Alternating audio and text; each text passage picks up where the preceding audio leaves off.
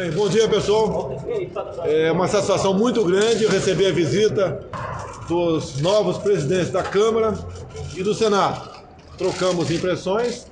Esse diálogo não começou hoje, começou durante a própria é, campanha.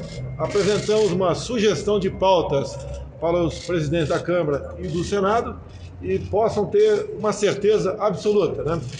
O clima é o melhor possível e imperará a harmonia entre nós.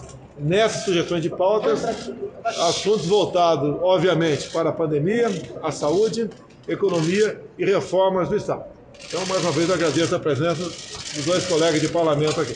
Pode pôr as sugestões, presidente, por favor, se eu participar alguma.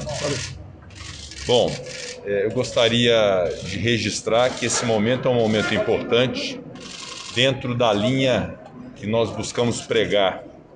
Tanto eu no Senado, como sei que foi compromisso também do deputado federal Arthur Lira, presidente da Câmara, de pacificação, de boa relação, de harmonia entre os poderes, resguardando sempre a independência do poder em relação ao outro, mas é fundamental esse diálogo.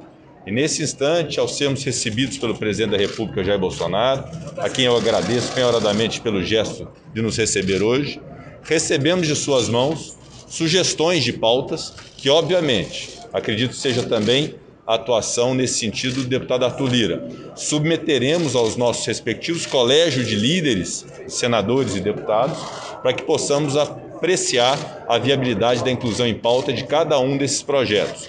O foco principal, e também o é do governo federal e do presidente Jair Bolsonaro, segundo Sua Excelência me externou, é o enfrentamento seguro, ágil inteligente da pandemia, com a disponibilização de vacinas, evidentemente, é a expressão daquele manifesto que fizemos em conjunto das duas casas legislativas, e a recuperação econômica do Brasil, que é algo que eu peço que todos os brasileiros acreditem, que nós vamos trabalhar pacificamente para recuperar a economia do Brasil com todos os projetos que sejam necessários para que possamos atingir esse objetivo. Agradeço muito à imprensa por cobrir esse momento e vamos agora trabalhar muito e redobradamente para poder entregar à sociedade aquilo que nós propusemos fazer no Congresso Nacional.